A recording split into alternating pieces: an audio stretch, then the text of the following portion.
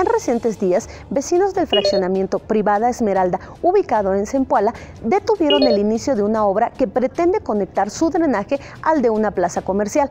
Con el respaldo de autoridades municipales, esto fue lo que pasó. La pasada administración estatal aparentemente se dio un terreno que había sido donado al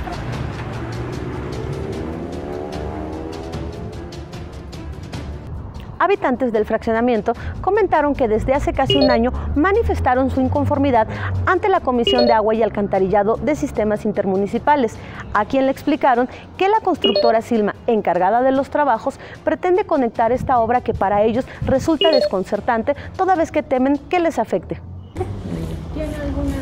Lo que se va a realizar? Sí, podemos ver los permisos, que es el encargado de la obra y todo esto. Claro, miren, sí, ahorita el encargado es directamente casi a solicitud de lo que le, de lo ¿Hay que No somos- nosotros. no somos sí, ni sí, nosotros. Todos son, todos son personal de casi. Ok. Ujú.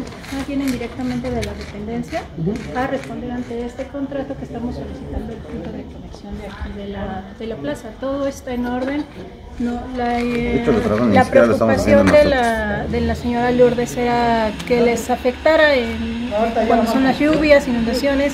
Ya se les explicó que no va a haber una afectación al respecto. Los, los documentos son claros, ya le digo, ya tiene foto.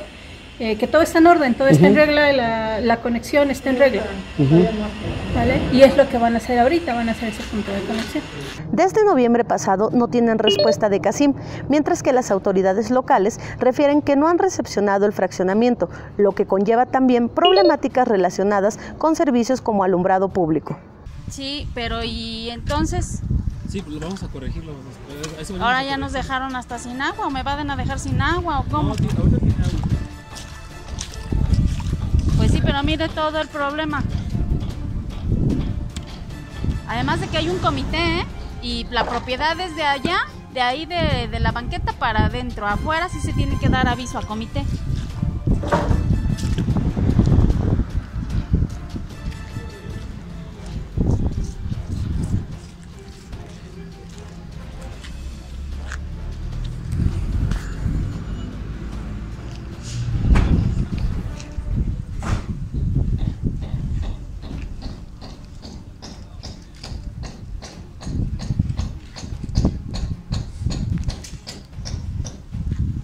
Cansados, decidieron detener las obras del organismo operador del agua, apoyados por autoridades municipales, quienes se negaron a la continuidad de las acciones, toda vez que aparentemente la constructora no contaba con los permisos para llevar a cabo la obra. Es que para eso debieron haber también a- a- pedido el permiso a obras públicas de valor urbano de Tecuala. Ahorita por lo pronto yo creo que le van a suspender. Van a suspender esa Y ellos obra. dijeron que ya tenían el permiso de, de, de municipio, entonces, ¿a quién, quién miente? A lo mejor tienes el permiso de subir allá. No tienes permiso. Para meternos aquí al fraccionamiento. no lo tienes. Entonces puedes conectarte allá. Afuera. A no meterte a un, a un, a un, a un fraccionamiento. Tu obra está afuera. Tu obra no está dentro. Para eso debieron haber Fue lo que yo les solicitado el decía hace permiso. rato. En tanto, los vecinos insisten en conocer los estudios de factibilidad que den constancia que la obra que se encuentra construyendo justo detrás de mí en el futuro no afectará la conexión con su drenaje.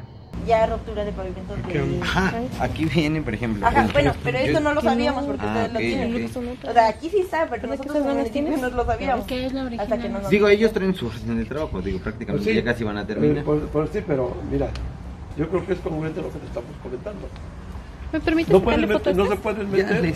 Son las... No se Sí, puede pero meter. Es como si tú tuvieras tu casa y te vas a... Ah, no, porque yo voy a conectar. Espérame. Es que ellos son dueños de fraccionamiento. Y no te puedes meter a un área pues, prácticamente. Privada. Allá dice privada. Privada. Es una privada. Y no puedes entrar a una privada sin una, una previa autorización. Y nosotros para pedir, para, para dar la autorización, necesitamos que ellos nos, nos las autoricen. Pero ellos dijeron hace rato que no, porque sí dicen que son la constructora y se metieron a voluntad. Si la constructora, Ahí está la- ustedes no ahí sé está por el qué no, video. de- ustedes no debieron haberlo dejado entrar a nadie. Hasta que no tuvieran un Se pasaron, que pasaron fue diferente. Pero ¿por qué si tienen unos vigilantes? Sí, pero ellos dijeron que no, que no les, que no les podemos prohibir porque nos estamos de- metiendo en problemas deje- legales. Es por eso que solicitamos el apoyo. Por ello, informaron que convocarán a una asamblea en la que solicitarán la presencia de las autoridades municipales para que les aclaren qué postura tienen al respecto, considerando que por un lado les cobran el predio, pero cuando les piden ayuda les dicen que el fraccionamiento no está recibido. Pero además, cabe recordar que dicho lugar pertenece a la localidad Hawái de Telles, donde las empresas Crimsa y Silma, ligadas a los hermanos Rico Moreno, quienes han desempeñado diversos cargos en el gobierno estatal, construyeron varios fraccionamientos que desde 2015 sufren severas inundaciones. Las denuncias fueron expuestas incluso por este diario desde hace cuatro años. El problema, según especialistas, derivó de un sistema de drenaje insuficiente, luego que la zona por origen es inundable, situación que aparentemente era conocida por los entonces funcionarios que autorizaron pese a ello la obra. ¿Y tú, qué opinas de esta situación? ¿Has vivido algo similar en tu fraccionamiento? Recuerda que puedes enviarnos tu denuncia a través de nuestras redes sociales. Mi nombre es Adriana Hernández y hoy, desde Zempoala, en el fraccionamiento Esmeralda, soy la voz de tu denuncia. Te invitamos a seguir nuestras redes sociales con información actualizada. Las noticias que hoy son tendencia las encontrarás en nuestra página web elindependientedehidalgo.com.mx o bien consulta nuestra edición impresa.